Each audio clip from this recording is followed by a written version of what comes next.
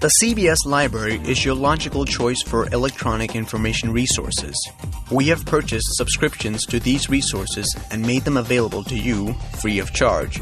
Our e resources include lots of things full text journals, magazines and newspapers, company information, e books, dictionaries, encyclopedias, economic data, digital images, industry profiles, market research, career information, etc. They are all essential to your successful library experience at CBS. Many of the databases enable you to create personal profiles for keeping track of new content via mail or RSS feeds. As a member of the CBS community, you have 24 7 access to the library's e resources via remote internet connection or on campus from any networked PC. You will find our information resources and remote access instructions on the library's website or via eCampus.